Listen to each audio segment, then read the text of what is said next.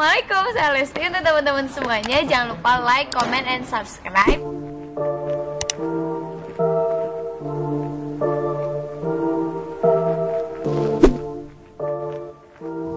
Hai hai guys, ketemu lagi di Perleslaran Kabar terbaru terupdate tentang Lesti dan Bilar. Tentu kalian selalu penasaran dan menunggu-nunggu Kabar bagaimana idola dan kesayangan kita ini. Lesti dan Bilar yang selalu mencuri perhatian kita semua. Dua, tiga, kawas sampai Usai semalam, Lesti belak-belakan bongkar kenyataan yang sesungguhnya hubungannya dengan Rizky Bilar. Ya, ternyata Rizky Bilar sudah persiapan sematang itu.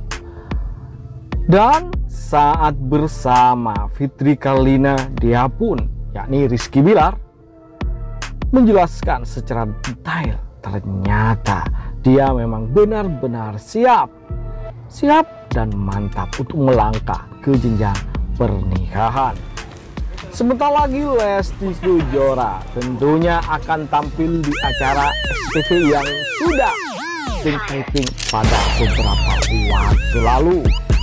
Hal ini menjadi penak-penik di siang hari ini. Kabar terbaru dan terupdate mengenai Lesti yang sudah mengunggah di feed instastory-nya, di instastory Instagramnya.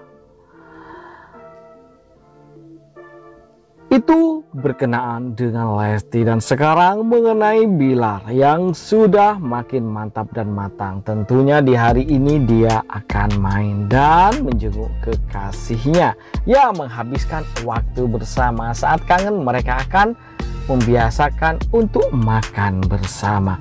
Tentu itulah hal romantis yang selalu mereka lakukan saat sama-sama keduanya merasakan rindu. Ya, itulah harapan semuanya. Harapan para Leslar bersatunya mereka. Apalagi tadi ketika Yulima live, dia membongkar acara yang akan diselenggarakan pada tanggal 24 Desember. Kita tahu 24 Desember akan dilakukan pertemuan keluarga di rumah. Siapa? Di rumah si Dede.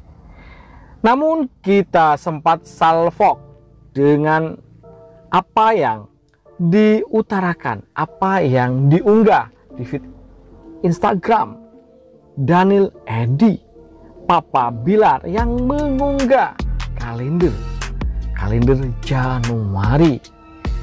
Kita semua dibikin baper. Tanggal 24 Desember mereka akan bertemu secara kekeluargaan. Lalu tanggal 24 Januari 2021, apakah yang akan terjadi? Apakah benar mereka tanggal itu akan melangsungkan proses pernikahan?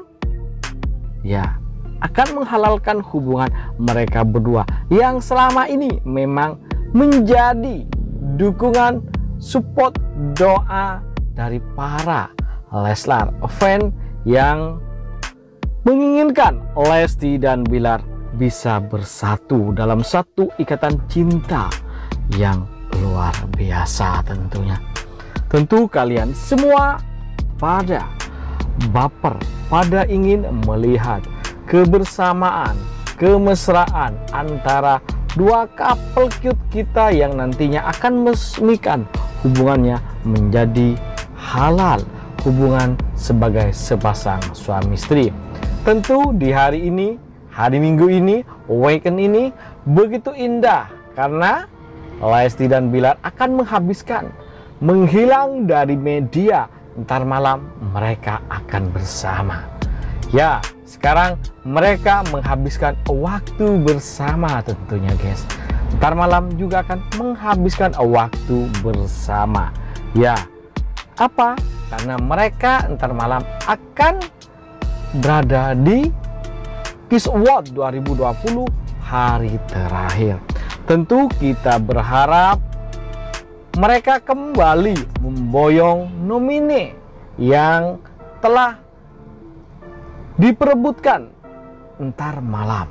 Ya, seperti semalam bahwa Bang Bi sukses merebut mendapatkan nominasi hobi terkis. Kemudian si Dede pun mendapatkan kesempatan untuk memperoleh nominasi sebagai penyanyi dangdut wanita terkis dan mereka juga akhirnya dinobatkan menjadi pasangan terkiut terkis. Wow, sungguh sesuatu yang luar biasa.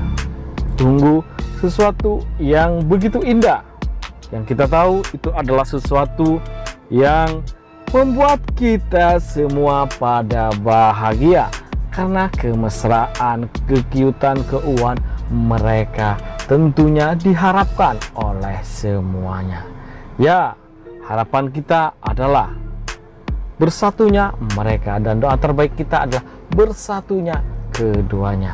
Tentu semua pada menginginkan dan kalian kalau ingin mengenai kabar terbaru mereka berdua jangan lupa untuk selalu stay tune di channel kita ini update di channel kita ini dengan klik subscribe dan nyalakan loncengnya dan untuk yang entar malam kalian silahkan tonton video.com atau televisi dari Indosiar tentu di sana kalian akan mendapatkan suguhan-suguhan yang tentunya dihadiri oleh mereka berdua dan semoga mereka berdua juga membawa nominasi yang sama-sama kita harapkan guys itu saja mengenai kabar-kabar terbaru terupdate berkenaan dengan Lesti dan Bilar.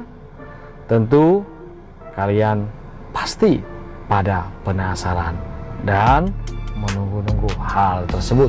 Marilah sejenak kita di siang ini beristirahat, ntar kita melean bersama-sama. Kita pantengin acaranya biar kita bisa cute bersama-sama.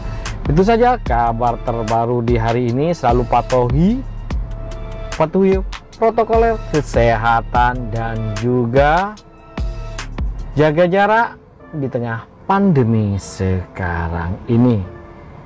Terima kasih telah menonton.